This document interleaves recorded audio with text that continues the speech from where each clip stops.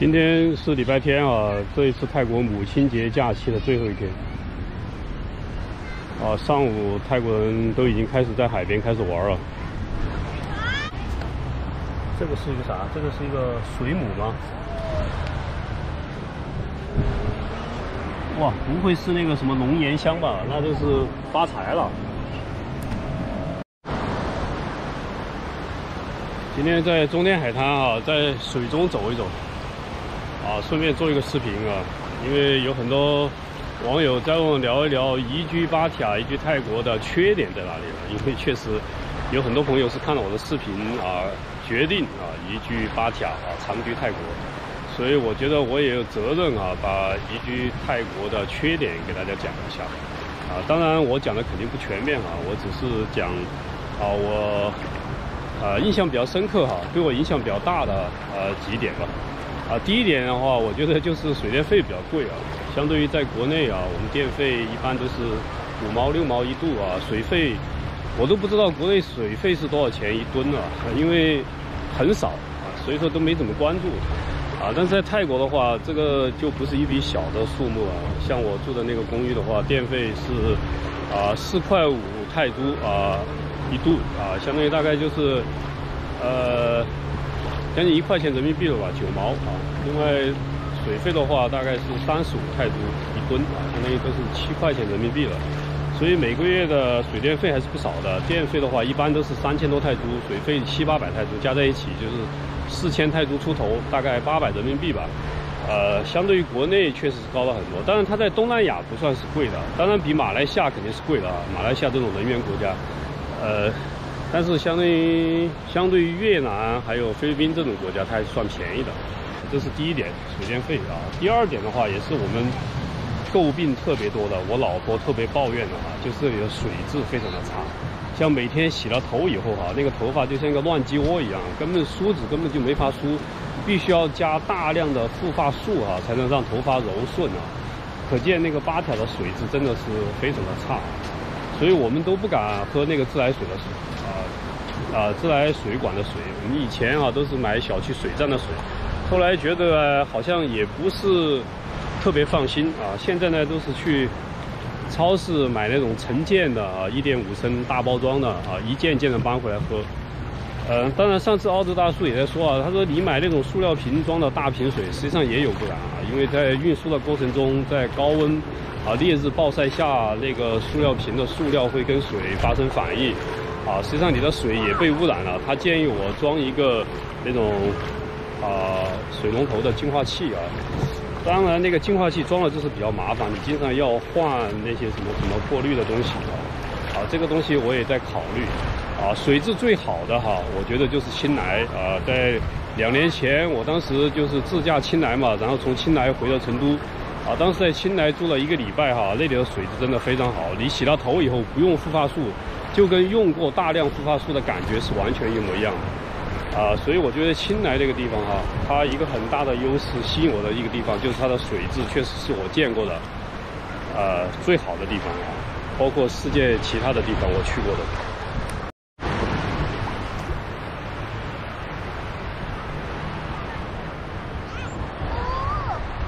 你看泰国小孩多么的幸福。另外的话，就说到呃教育方面，我觉得这也是巴提雅移居巴提雅要考虑的一个问题。啊，我不说其他的，我今天说一点特别一点，就是我有个朋友啊，他精通泰语，然后跟泰国人交道也比较多。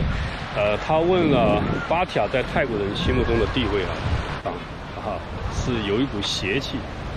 啊，实际上大家都知道，我们中国人讲风水，实际上泰国人也要讲风水。他们觉得巴塔这个地方就是带着一种邪气，不到万不得已，他们一般是不会让小孩在这里读书啊、生活、工作的。呃，所以这一点的话，确实啊，因为这个城市毕竟它就是因为它的枫树行业啊发展起来的一个海滨度假的一个城市啊，就是没有什么历史的积淀，也没有多少这种文化的传统啊，不像清迈啊那些地方啊。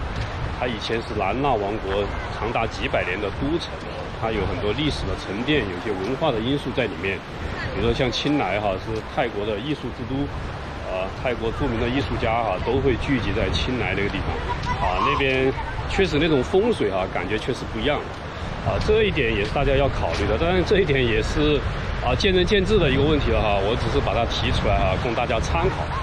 呃，第四点的话，我感触也是比较深啊。这一次来，因为是长居嘛，就涉及到那个跟移民局打交道，所以我把这一点缺点哈归纳为移民政策不友好啊。因为就是一个笼统的，不仅是你签证的问题，还有移民政策的问题啊。因为泰国这个国家，它确实是非移民国家，你外国人生活在这里的话，长期居住哈，面临着很多不便利吧。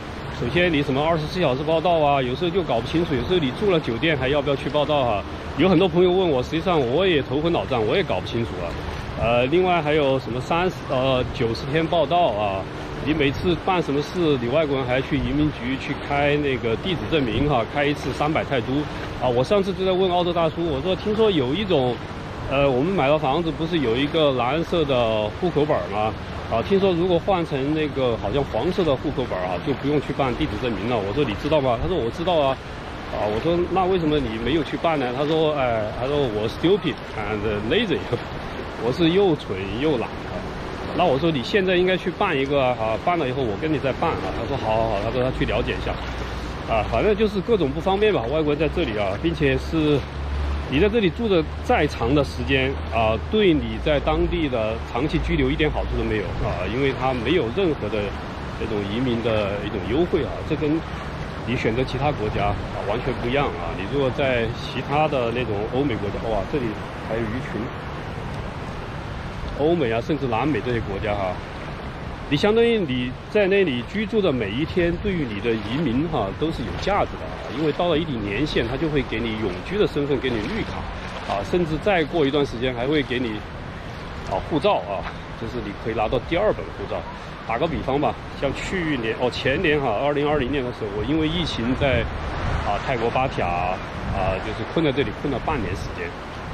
啊，当了半年以后，我就回到成都哈。但是这半年对我在泰国的居留没有任何意义啊。如果我当时是因为旅行到了南美的一个国家，比如说像智利，我若在那里也是被困半年，我能够得到什么？我能够得到智利的绿卡，啊，永居的身份，并且得到绿卡以后再住三年或者是五年，你就能申请护照啊。当然要求你的西班牙语要过关嘛。但据说西班牙语是比较容易学的一种语言，啊，我也不太清楚，所以这就是区别啊。啊，你在那种移民国家啊，也不一定是移民国家了，就是像，呃，像南美啊、欧欧洲啊、美国啊，啊，你在那里居住的每一天啊，对于你的身份、你的移民啊，都是有价值的。但是在这里没有，这里你住多久？呃，你实际上都是一个游客，虽然你可能拿的是一个长期签证或者是精英签证，五年的、十年的，哪怕二十年的，你若真的想融入这个社会哈，成为他的居民哈，不要说他的公民，呃，基本上是不用想的，门都没有。我在这里在挖螃蟹啊，实际上大海对泰国人来说也是很新奇的。很多居住在曼谷以及曼谷以北的人，他们要在海边来玩，也不是一件容易的事情，也要长途跋涉啊，开车开很久。哦，最近上次卖车给我的那个德国车商啊，最近又到巴提雅了。他本来带来了一辆车，一辆挺不错的2019年的三菱的那个小车啊，只要二十二万泰铢。哎，我说你来了，我马上哎过来看啊。当时他刚刚到，我打电话给他，他说都已经卖掉了，确实性价比非常高。呃，他也是带着家人从八百公里以外的老挝边境到芭提雅来度假啊，顺便在卖车。呃，另外一点哈，啊，我就作为最后一点吧，因为那个视频太长了，也没人看哈。啊，最后一点的话就是，呃，这一点的话也是跟澳洲大叔我们共同经常感慨的一个问题啊，就是巴提雅确实越来越热闹了，人越来越多了，呃。所以澳洲大叔他现在就觉得，啊，希望去找一个更加安静啊、更加安静的一个地方。当然，他最喜欢的就是芭提雅旁边的那个尖竹文府。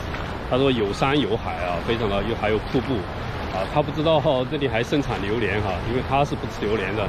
他想在那里去买块地盖房子啊，呃，他当然第二个选择的话就是青莱，实际上我对青莱是更感兴趣啊。啊，如果以后芭提雅确实太嘈杂了，人越来越多了，可能真是要考虑换一个地方了。啊，确实哈，即使在现在疫情期间，中国游客过不来的情况下，但是我感觉哈，确实人越来越多。呃，因为这里毕竟是它的经济的一个重镇吧，东部经济走廊。呃，可能整个泰国它人口流动的方向哈，也是在往那个啊东部经济走廊在移动，并且这里确实气候啊各方面条件还是不错，所以世界各国的人士选择到这里来移居的、定居的人也越来越多啊，包括我们中国同胞。呃，即使在现在啊，我也经常能碰见很多啊呃中国同胞在打招呼啊啊，但是以后人越来越多的话，确实你的这种居住体验就会。越来越差吧，我觉得特别是像泰国的那种居住环境啊，像这种啊扣八呀，像这种啊高层的那种公寓楼，包括我们住的那种水景的公寓楼，你想想，这上面那个户数到底有多少？密密麻麻的，它一户就是二十多平方、三十多平方。你看这一栋大楼哈，就是一一个楼梯上去哈，一个走廊上去，那就是几十户人家住在里面啊，所以。泰国公寓它的真正的居住的价值在哪里哈？我觉得它最大的价值就是就是入住率低啊。像我现在住的拉瓜拉小区啊，现在住的很舒服，因为入住率我估算了一下，可能就是百分之十吧啊，就比较舒服的一个环境啊。如果到了百分之二十啊，我觉得可能就是很一般了啊。到了百分之三十，可能就比较难受了；，不到到百分之四十，可能就要逃离了啊，就是一种难以忍受的一种状态了。但是它的公寓百分之百都是卖完了，所以这就是大概的几个我感触比较深的宜居泰国宜居八条的一个缺点吧。有的是八条特有的，比如说像水质；有的是啊泰国普遍的一种现象。呃，那以后如果是真的啊难以忍受啊这些缺点，你要移居移居去什么地方？在泰国境内的话，我实际上是比较看好青莱的。呃，所以我也一直在给澳洲大叔洗脑啊，我说你去。那个建筑文不如去青莱找块地修房子。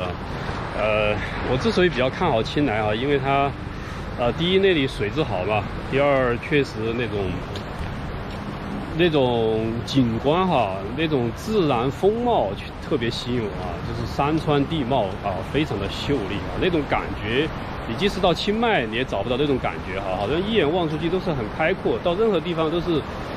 呃，一马平川哈，但是它也有山峦起伏哈，那种大片的那种公园，每个地方都很干净，它的食物也非常的美味，又很便宜啊。最吸引我的就是它，呃，靠近中国啊，离中国非常的近。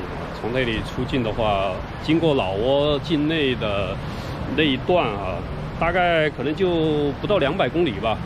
据说正在修高速公路啊，以后修通的话，你从青莱那里你回到西双版纳。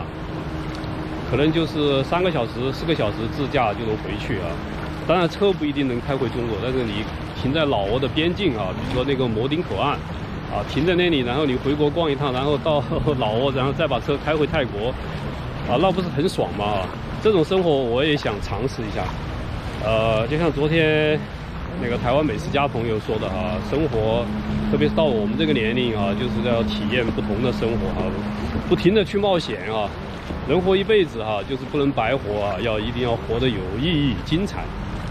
好，这就是今天想跟大家分享的内容啊。关于在泰国长期居住啊，有其他的什么弊端啊？相信大家也有很多自己的看法啊，就欢迎你的评论啊。我们在评论区见啊。这期视频就分享到这里，谢谢。哇，这里他是直接开着拖拉机把那个游艇送到海中啊，因为这里有很多浅滩。